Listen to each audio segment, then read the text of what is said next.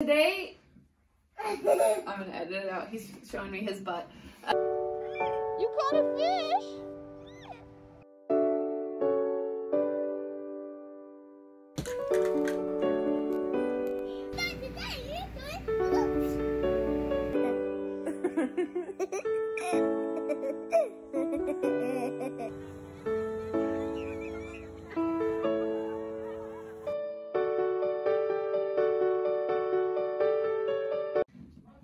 Hey guys, welcome back to my channel. If you're new to my channel, I'm Sarah, and um, so today we're doing a video that I've been asked for quite a few times, and that is how to properly do a bleach bath. So first thing what you're gonna do is, um, because Keikoa is so small, we only fill the bathtub halfway up. Um, he's really particular on the temperature of the water because it burns his skin. So if you look at the National Eczema website, or talk to your doctor. They'll tell you a half a cup for a full bath and a fourth a cup for a half a bath.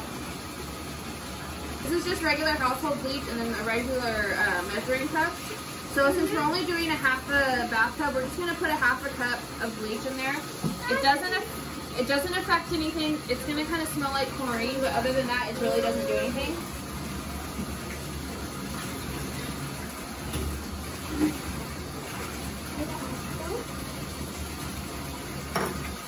So while that is up, um, I'm gonna just, you, for those of you that are new to the eczema community, um, and you guys need resources, this isn't sponsored, but go to the National Eczema website. They have a lot of information and a lot of um, things that you can do for new parents dealing with eczema. Okay, so with um, bleach baths, you wanna make sure that they're in the bathtub for at least 10 minutes. We always aim for 15, but um, it just kind of depends on the kid. So with eczema patients, um, especially with kids like Keikoa that have really bad skin, we make sure we get scent free. This is um, fragrance free, dye free soap. Um, this is the cheap one. This is like the cheapest one they have at Walmart. You can get other brands of scent free soap. We figured this stuff works. It doesn't irritate his skin. So this is what we use. Okay, so now that he's out of the bath, what you do is you make sure you pat dry. So you don't want to rub it off, um, but you want to make sure you pat dry. Hold this on there, okay? So now what we like to do, um, if you have a medicated ointment, you would put it on, um, but we're just going to use regular Aquaphor. And this is the time that you make sure that you lather him up all the way. So we put it on anywhere that he is um that he has a severe breakout. So right now it's the between it's his arms up here. Actually his skin looks really good right now. And then on his stomach.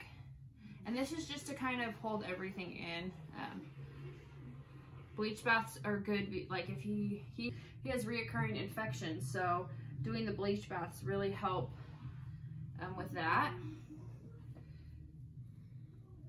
So what we're doing is we're just kind of lathering them up a little bit. If you put medicated cream on, you would put the medicated cream on first, and then you would put the Aquaphor or Vaseline or whatever, like a, whichever one you use as like a moisturizer, maybe a lotion or something.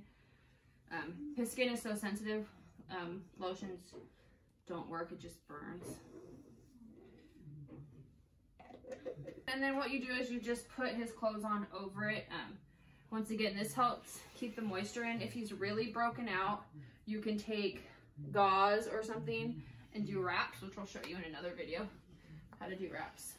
Mom, you waited that. You have like 100 years. Yeah. So then we put him in long sleeve shirts and long pants so that way he can't really access it. And yeah, I'll link the um, directions right after this. I'll put the link the National Eczema Association's directions and instructions um, right after this. Um, yeah, don't forget to like and subscribe. And we will be back with a new video. Um, I'm going to hopefully do wet wrap soon. So yeah, catch you guys later.